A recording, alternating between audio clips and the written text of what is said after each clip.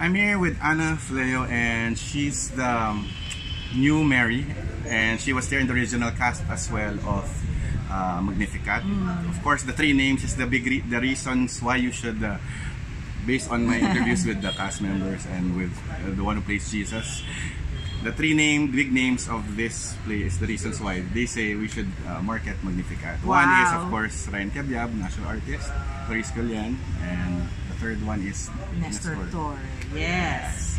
So that's all you need to know. But now Yes. we're gonna go in depth a little bit with Anna, who plays Mary, and also was there in the in the inception, the start of Yeah, in The the, thing, in the right? beginning, well, I was too young in the very in '96, but I was already, you know, I was part of. I was doing the Xerox copying. I was the signing pusa. Still, I but you were able to watch everything, right? Yeah, yeah, yeah. But in 2000, Magnificat was actually my very first musical. Tito Nestor Torre was my very first um, director. And this is What other um, plays did direct, uh, Nestor do before? Um, he did Katie. He was uh, he was the director and the writer of Katie. He also did Magsimula Ka. Wow. All Filipino. to. All Filipino. are I mean, very very iconic musicals. Magsimula Ka, which I also did with Spotlight Productions. Is that connected to the song Magsimula? Yes, yes, dun yun. Yun ang anthem ng Magsi. And who's the original singer of that one? Uh, the popularized it? Is it one of the OPM singers? No? Yeah, yeah. And everyone say, everyone say it na. Research sa Google. we are in a new generation. You can search for anything. So anyway, um, yung playing Mary naman, let's go right into it. Mm. Um, besides, before you were just watching Mary, now you Yeah. are the Mary. Yeah. So ano, anong difference for The difference now is just going through the whole journey of of getting getting into the shoes of of of, of Mary and getting learning her essence. It's hard. The strength that she the strength that she had to to muster to go through this, you know, as a mother connecting to her son and seeing her son suffer it's it's just it's a different kind of mother's strength is so different and, and, and a mother's faith Are you a mother also in real no life? no not yet. i feel like although i have been teaching and i have been You're mothering in a way because you're a teacher. yeah i've been mothering i feel like i'm a mother So also. mental, mental and care Yeah. of mother. yeah yeah Second mother. Um, so who are the what are, for you besides the three big names? What are the things why people should look out for in this uh, musical? Well, it's I feel personally. I I was talking to one of the people out, uh, one of the press also inside. I look at, getting into this musical. I don't see it as a religious musical. Yeah. It. I'm I'm going through the, the, the journey and I see the humanity of each character and the humanity and the imperfections of each character. And so this is so timely because in times it, change, times are changing, people are getting more and more isolated. There are more people getting depressed and and like feeling like they are not really understood, misunderstood and this is like when you watch this this musical it you nakaka-connect ka sa journey ng iba-ibang tao sa iba-ibang character. And it's really an inspiration. It's inspiring because um you see how humans thrive. You see hope. You understand hope. You understand that in you know you're not inspired by perfection. You're inspired by imperfection. Despite the imperfections people thrive. People get up. People you know Have faith. have faith and have that strength to kapit Especially in our society today, ang daming negative, people Dami. bash you kagad even they don't know you and people that know you, they betray you and they Yeah, talk behind your back. yeah. So I believe siguro what you can we can learn based on the story itself is parang learning to trust in the Lord na you're learning to trust in the Lord learning to trust in in humanity His plan. in his plan but Kasi also plan niya to, pero hindi mo ma-understand. Why will I become the, uh, bear Jesus in my womb, di ba? Parang, parang hindi niya Mm. maintindihan yun, pero nag-obey na lang siya out of faith. Yeah, yeah. Al- tama. Learning to trust in the Lord. Wait lang, sandali. Oh. Glenn, gi-interview kami. Gi-interview kami.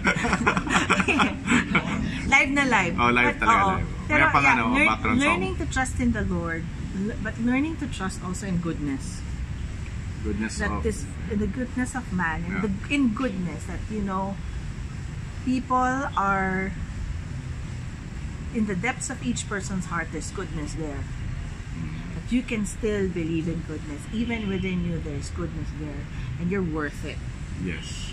yeah. So makakatulong to sa mga depressed people, mga oh depressed. depressed stressed sa mga Walang uh, purpose. walang purpose hindi inspired this is a, a, a musical Is it about, about a love story too?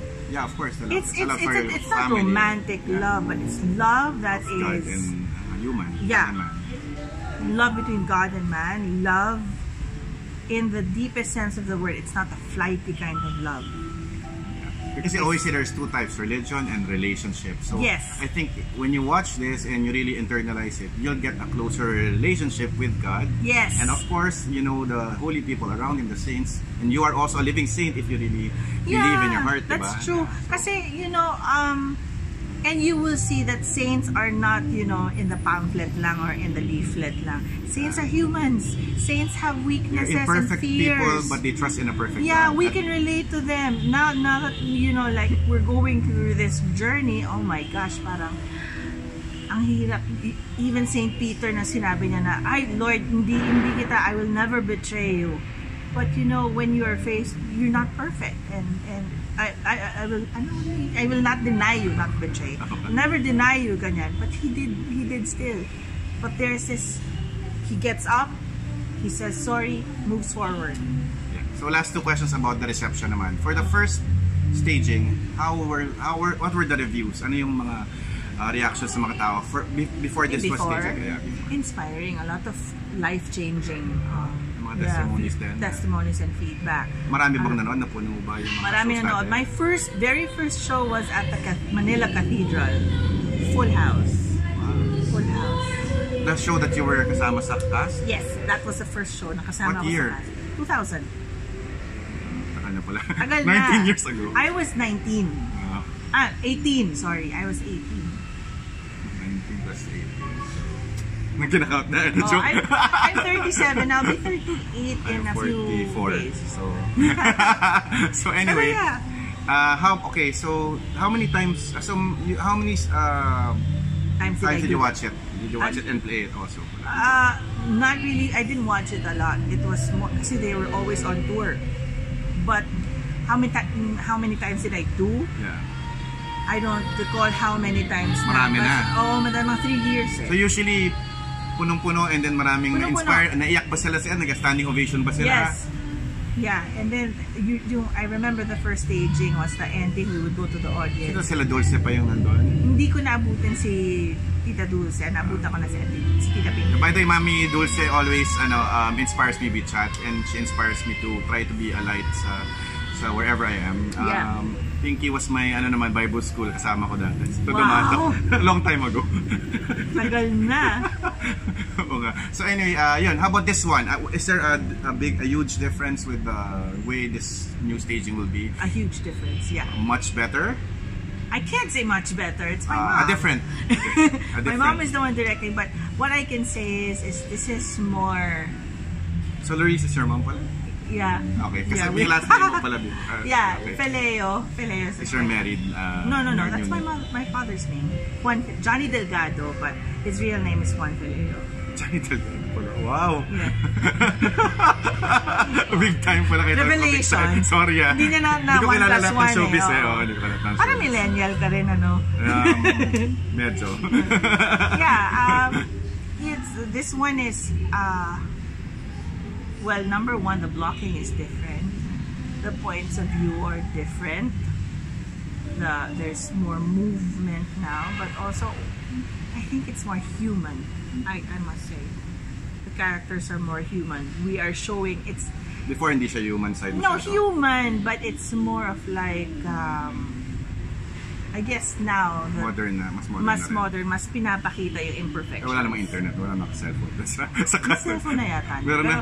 no, I think this time we're showing more of the imperfections of the characters.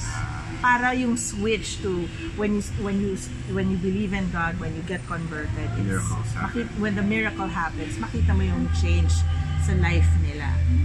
So pinapakita talaga namin na kahinaan, na So in other words, since before sobrang blockbuster naman, uh, kasi I believe in impact more than numbers. I, Yes. This time, it's surely gonna have an impact. Um, pero ang, ang- That's our prayer na impact. Yeah. by faith din eh. Dapat you Yeah. should believe eh. it's it's uh, yeah but uh, hopefully we, we that's that's the only thing we can do it's not it's not a commercial commercial musical so it's uh, mas mahirap siyang ibenta or ish, i Kayang-kaya, kaya ka i- faith eh. mas Kayang-kaya mahirap natin siyang ibenta eh. i- ihikayatin ng mga tao pero Oo. we have a feeling there's a feeling of oh my gosh this is It's gonna be a sleeper surprise. hit Yeah. this is going to ano because of the impact Sige, pasample naman isang song yung favorite mo, yung talagang ma, pag kinanta mo, talagang pupunta sa lahat ng manonood ng musika. Um, alin doon? Wala kasing ano. Sanggol ko musmos sa pag-ibig ikaw ay puspos anak ng tao't anak ng Diyos paano matatarok ito ng lubos Yes, congrats. So I'd like to pray for your ano lang, uh, I'd like to pray you. for your musical na Lord, we pray na in Jesus name um, that to be a you know not just a viral hit on earth but it will be viral in heaven. Yes, that this will be lives will be changed and you will be the instruments to share the gospel and to share the good news of how the obedience of Mary and Jesus was able to bring salvation to all our lives. And because you are also experiencing his presence. Yeah. so I just pray that this Magnificat will be used mightily by the Lord to, to bring His powerful presence so people will have hope, that they will have healing in every part of their body, soul, and spirit. And um, yeah, of course, you get the prophets, and that people will profit from it as yes well. amen to that Because, you know, this is the industry that there needs to be values comes back. Yes. Yeah, nawala na yung values sa ating society. Yeah. Mga marami na mas maraming walang hiya kaysa may hiya. So, so wag na kayong mahiya at bumili na kayo ng Yes, tickets dito sa. Magnificat. September 27 to October 12 sa Music Museum po. Sama nyo na rin yung Rizal Behind Bars namin. Rizal behind, oh, Rizal behind for Mars. the, Paki, for the youth. Paki, uh, ano rin, paki um, support din. Actually, let's support let's all all Philippine support theater. Yeah. Philippine and theater. artists, even the athletes. Yeah, we have a lot of very We have talented so many talented people in Yeah. in the Philippines. Yeah. Yeah. Takiligin ang sariling ah, Pilipino. Yan. Bye-bye! Bye! Mwah!